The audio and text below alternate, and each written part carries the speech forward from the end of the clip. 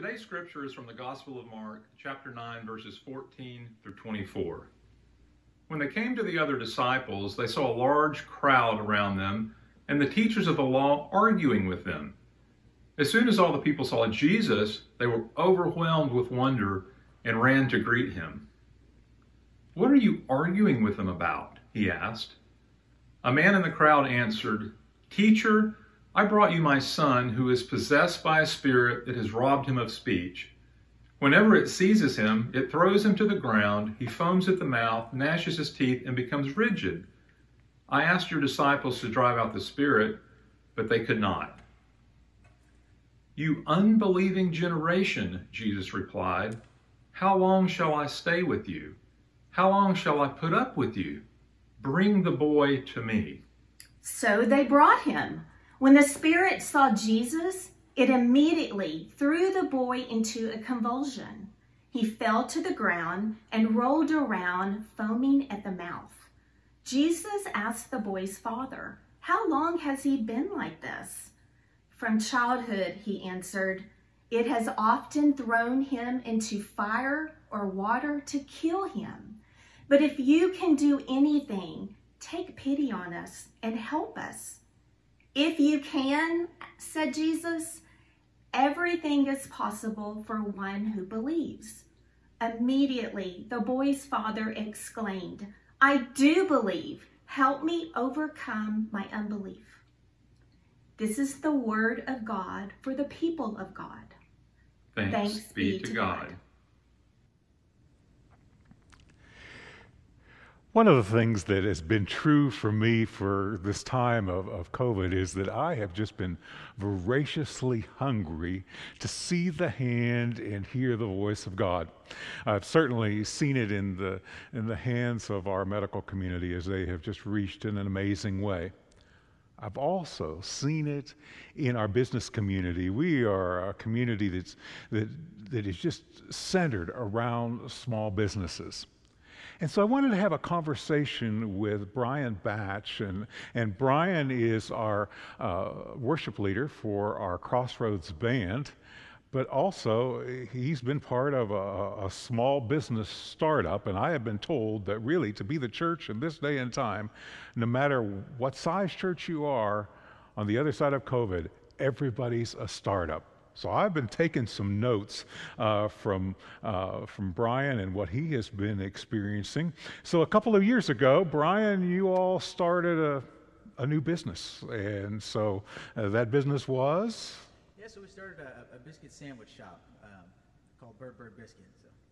So. Bird Bird Biscuit. You know, when Tina and I are going down toward the uh, uh, university campus and stuff, we get on Manor Road, and there's just this magnetism that draws us to Bird Bird Biscuit. We, we got to have our fix. Tell us what those early days were like as you started that business two years ago. Yeah, it was super exciting. Anytime you're doing something new that, that you've never done before, there's just this kind of inherent um, just excitement. And so we were, we were really well greeted at the beginning of starting the business. Uh, we, we had a a nice demand. And we also experienced some difficulties. And we found that one of the things that was a challenge for us was we were doing too much at the beginning. And it allowed us, um, it prevented us really from having focus. And so that was that was one of the challenges that we, we kind of struggled with at the beginning was not having a, a so right in the midst of your great success i mean you were listed as one of the top 18 uh, eateries in in the austin area and so right in the middle of that success you decided to trim your menu which i might include trim my favorite sandwich. Uh, and now we, we still go back uh, but uh, but you chose to, to trim it down. Uh, I, I, know sometimes we as a church, and then also I think in our own personal lives, we want to be everything to everybody, to be what people ask us to be. But you chose differently. Sure. You know, um, one of the things that we saw with our experience was the things that people ask you to be sometimes can prevent you from being the best thing that you can be. And so for us, trimming our menu down and, and making intentional choices really allowed us to live into one of our values, which is consistent quality above all. And it allowed us to do the simple things and the few things that we chose to do the best we could possibly do them. So, Brian, now it's March of 2020. Enter COVID 19, and here's your business that is a year and a half old, and you're facing that. What was that like? It was an interesting experience because when you're in a position of responsibility, um, it means that you have this response that you have to choose how you're going to be able to move through that. And so for, for us, we noticed that we had to make some choices, and it was either stay still and allow what was happening to happen to us, or to make some movements and to really create what it was that we wanted to see happen for us. And so we huddled together as a team. We all decided that we were going to make sacrifices so that we didn't lay anybody off. And we pivoted. We made a really quick choice of how we were going to change the business model, and we moved into that intentionally. And because of that, I feel like we were able to harness the energy of change into something that was um, that's been really beautiful for us. You know, when we visited, uh, and when we still go to visit there at Bird uh, we feel that sense of family that you all build together, and that you treat the customers uh, like their family. And so that regard for your workers, uh, I really appreciate that. Now, you have a, a new step that you guys are getting ready to do. Talk about that. Yeah, so we, we've we kind of stumbled upon a, a business model through COVID actually that's, that's given us a better sense of how we want to move forward with the identity of the business. And we're kind of moving into that. And so we have our second location in North Austin that we're planning on opening up at the beginning of next year. So, in the midst of the pandemic, you're planning on an expansion. Now, this new business model involves nobody's actually dining in, right? Is it does. So, you know, we, are not going to have people in the in the, the store physically, but we're going to do basically takeout um, from the window service and still it provides an opportunity to treat people excellently, just in a different capacity. So, and now you're expanding it. And we're expanding it, and we've we've been very blessed and fortunate because some businesses, you know, have really you know struggled through this. So, I have one question. Please. If you knew that 18 months into your new startup, you were going to face a pandemic that was going to totally destroy your present business model, would you have said, would you still have started it? That's a, it's an interesting question because I'm faced right now with a present pandemic that has the potential to um, disrupt what I'm about to do, and we're going to open a second location. Yeah. So, where'd you get that kind of daring? The quote that I, I, I will share is one that I, I heard from a monk who said it, and I think it's really beautiful. And it's Fear knocked at the door, faith answered, and no one was there. And I think the sense of moving through these times with the internal compass of just knowing that what's more important than what we go through is how we're connected as we go through it with God. That's what gives me the sense of strength. Well, Brian, my own faith is inspired by what you've been doing there and uh, there at Bird Bird Biscuit, as well as in your worship leadership. So thanks for sharing with us today. Thank Appreciate you. it. Appreciate you.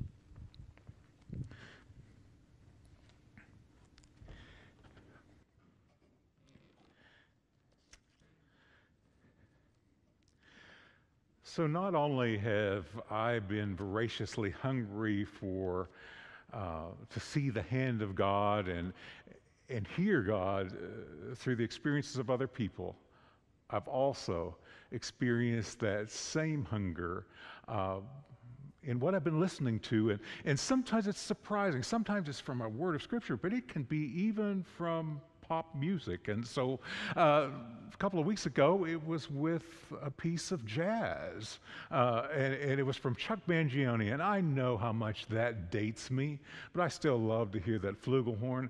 And, and there was a piece that he wrote in the middle uh, of that album, his first album. Uh, feels so good that uh, and the name of the uh, the name of the song was the land of make believe and here are the words to the song that he wrote. When you're feeling down and out, wondering what this world's about, I know a place that has the answer. It's a place where no one dies, it's a land where no one cries. and good vibrations always greet you. How I love when my thoughts run to the land of make believe, where everything is fun forever. What does that sound like to you? I invite you to hear with new ears the 21st chapter of Revelation, verses 3 to 5, and they're words we often read at memorial services. And I heard a loud voice from the throne saying, Now the dwelling of God is with people, and he will live with them. They will be his people, and God himself will be with them and be their God. Now, hear this. He will wipe every tear from their eyes. There will be no more death, or mourning, or crying, or pain, for the old order of things has passed away. He who was seated on the throne said, I am making everything new. What was John doing there? Uh, was he just playing make believe? I don't think so. In fact, I believe that these words echo the scriptures and they, they echo Jesus who invited us not into a land of make believe, but instead into a land of believe making. You know, one of my deep regrets in this summer of 2020 is that we're not having the 2020 Olympics. Oh man, I love to see that every four years. We actually had a, a zany worship series planned that was for the 2020 Olympics. So we'll have to save it now. I loved seeing the journeys that each of the athletes took to be where they were. I, I love uh, seeing the exploits of, of, their abilities. I also love the pre race, uh, pre swim, pre game, pre fight rituals that they do where they visualize themselves actually doing what they had trained for. None of them gets to the podium or even gets to the Olympic trials without a lot of believe making. And so I invite you to hear Hebrews 11:1 that says, "Now faith is being sure of what we hope for and certain of what we do not see." Yes, I am inviting you the, this morning to the land of believe making with God. So in today's scripture lesson, uh, Peter, James, and John ha- have just been on the Mount of Transfiguration with Jesus and have had a phenomenal experience where Jesus has small talk with Moses and Elijah. Wouldn't you just have loved to have been there? Uh, the disciples were so overwhelmed by what they experienced there that Peter says, Hey, let's make a tent here. Let's build a shrine. I mean, that's what you do with spiritually high experiences, right? You, you, you build something to remember it by, and, and so that you can return there. And perhaps when you get to the next time, it won't be just Moses and Elijah, it will be some other people, because we tend to want to move from spiritual high to something that is even spiritually higher. But Jesus, in response to them wanting to do that, says, No. We need to go back down the mountain. Yeah, our spiritual highs are not meant to leave us as spiritual junkies seeking the next spiritual high.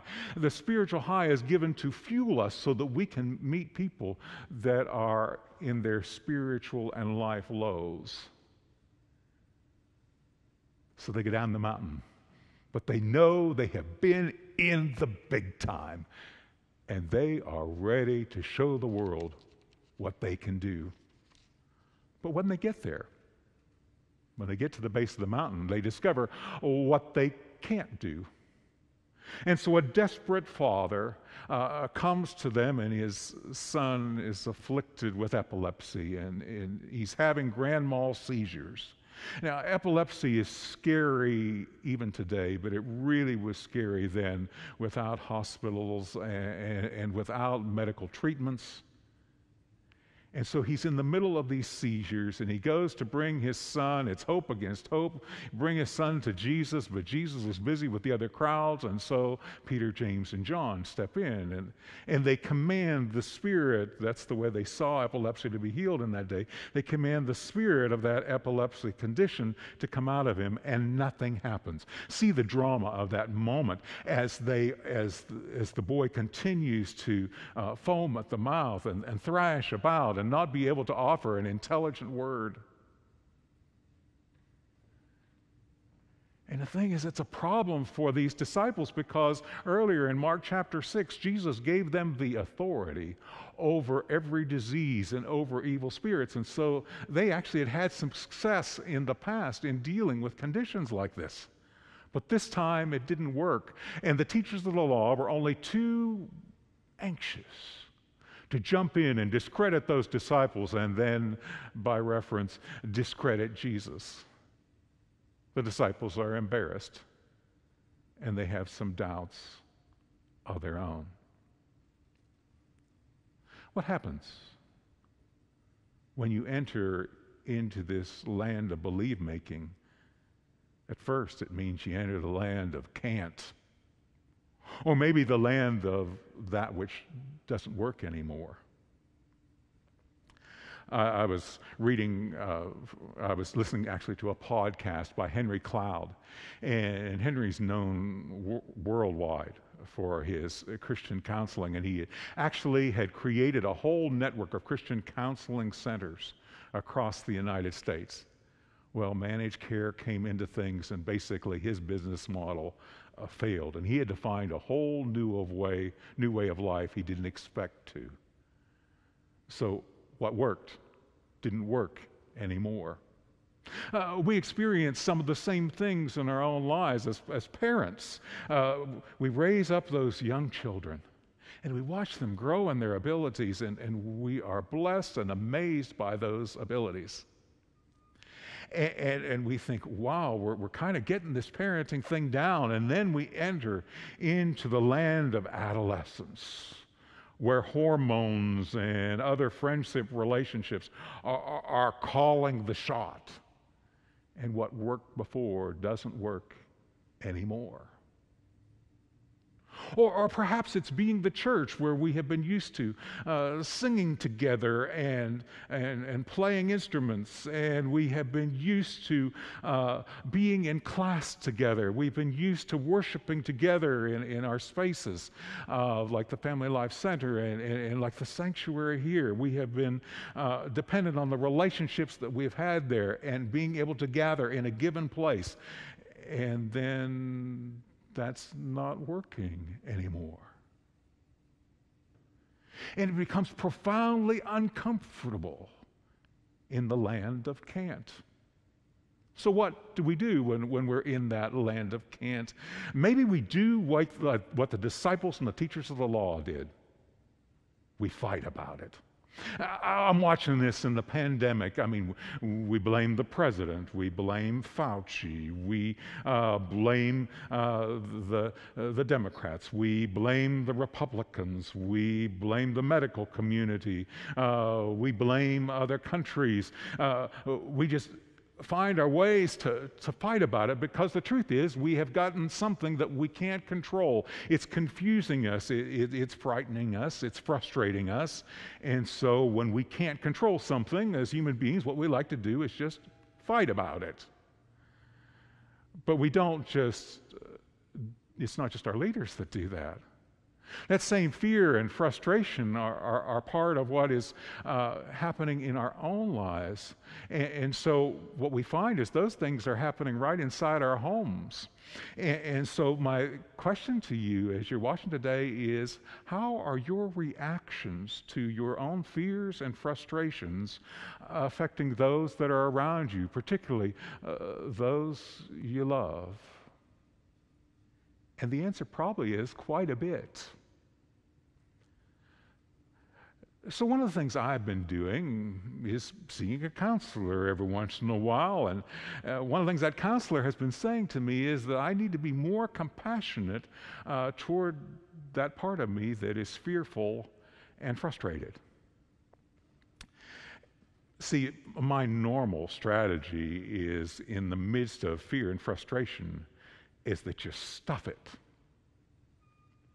And you put on your big boy pants and you do what you got to do to get through.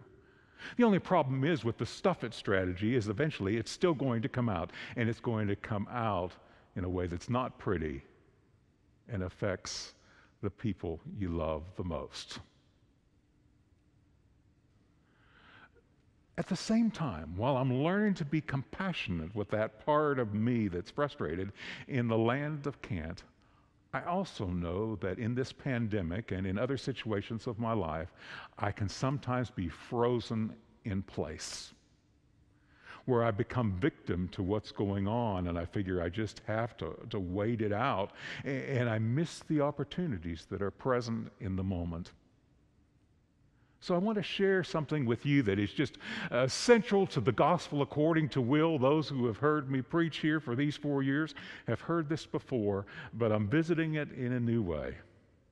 I remind you that God loves you just the way you are, and you can't do a thing about it. And He loves you just the way you are, including in your fears and your frustrations. He knows you better than you know yourself, and so you are loved. And there is a corollary God loves you too much to let you stay that way. We're not stuck in the land of can't. So, back to the story with Jesus and this boy and his father. So, Jesus, first of all, is frustrated with the lack of faith and the argumentative style of the teachers of the law and his own disciples. But he now comes to the Father and invites him to tell his story. This is a really crucial moment in the story, and it's part of yours and mine.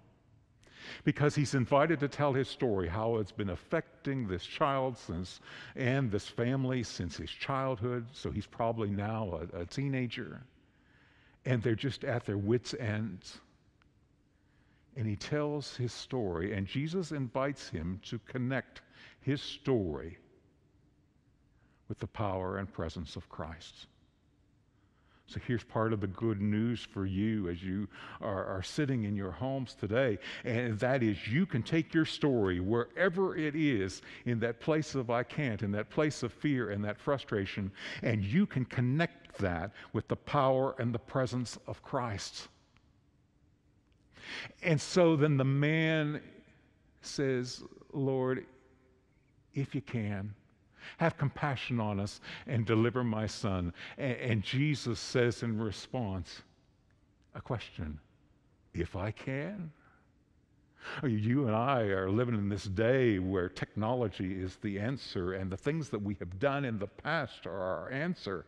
And so we may not be the people of faith that we think we are. I, think that's one of the things I've had to face about myself, is that the pandemic has realized I've been relying on other things and putting my faith in those, and not necessarily on the power of God that's right in front of me.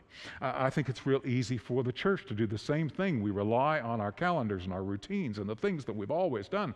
And we we are no longer relying on the Christ who gives us life in the midst of it all and is our very reason uh, for being. But do, dare we go to that place of total faith? I mean, this man has seen disappointment over and over for his son and for his family. And so his prayer is Lord, I believe help my unbelief. Oh man, do we do we relate to that father in that? And it's the prayer that God loves to answer. He meets us at the place of our unbelief. And it is there that this man moves from the land of Can't and starts to make his first steps into the land of belief making. And so then Jesus commands that spirit to come out of that boy.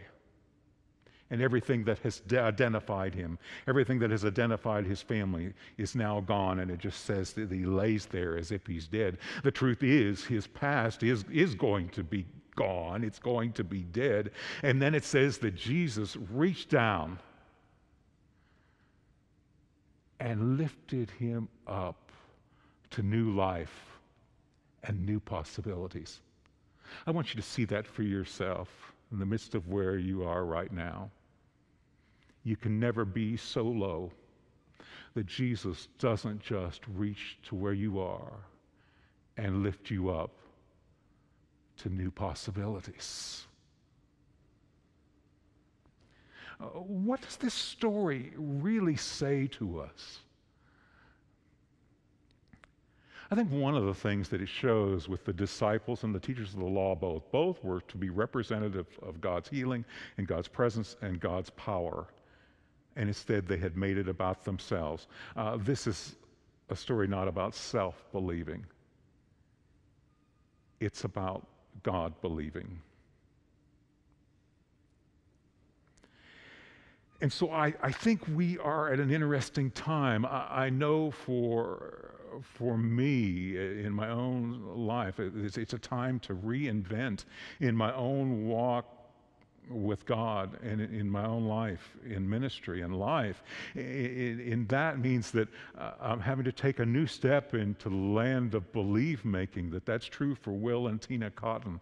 I also think it's true for the church. I, I think we're entering a really different era. Uh, COVID 19 has been challenging and strong enough that economically, we're not going to be the same on the other side of it. I don't think we're going to be socially the same on the other side of it. And so the church is going to have to be a different kind of missionary presence than it has been. We have been content to be whosoever will may come and, and come and be part of what we are doing. That's not going to work on the other side. We're going to have to meet people where they are. And the truth is, it's going, we're going to meet them with the thing that makes us who we are, anyhow. As a people who trust in God, a people who lear, have learned in the ups and downs of life to love each other. We extend that in a whole new way, and we learn how to do that from every angle that we are as a church on how we have been gifted. So, what's being asked here into this land of belief making? Well, I can tell you this it is not blind faith. That would be make believe you know, one of the things that Henry Cloud uh, did with his, uh, in California with a group of executives. The, there were some ones who had found great success early on, and they were young business people in their 30s. They actually had become multimillionaires. And then with COVID 19, they were losing those businesses all over the place. And many of them just lost their reason to live. Some of them were talking about ending their very lives. And so Henry brings together those and some people who have some years on them. And the people who have their years on them talking about the days of the fuel lines of the 1970s and Black Friday of 1987 and Y2K that never materialized, and the recession of 2009. And how that in the middle of all those things there were sacred moments, and then there was even greater life on the other side. And so it was an encouragement to those young executives that they didn't have to give up on, the, on business and they didn't have to give up on life because there was hope on the other side. No, this is not blind faith. You know, I, I, know what it is like in my own life to be in the valley of, uh, of professional failure and wondering if there's future for me and watch in the middle of that sacred moments during that time of failure and then watch God plant new seeds that I never dreamed possible following it. Yes, I, I know what it is to be a parent in the teenage years and to be out of answers about how to go ahead and yet knowing that there were many sacred moments, even in those teenage years. And then there are these magnificent moments in the years that have followed.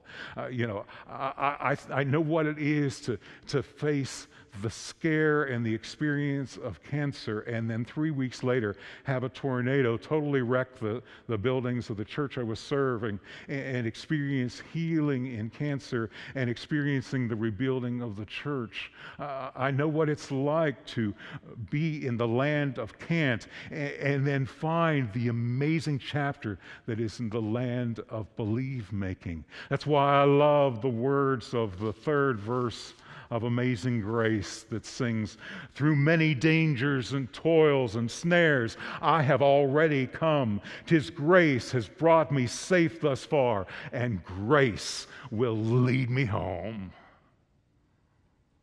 Oh, my friends, the land of Can't is not your home.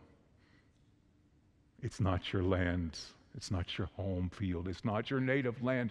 Your native land is the land of believe making, in which, in the midst of the impossible, God makes the possible happen. It's usually not as fast as Jesus made it happen. Usually it takes a while, but you can be sure as you connect with Christ in the middle of this, God does his most magnificent work.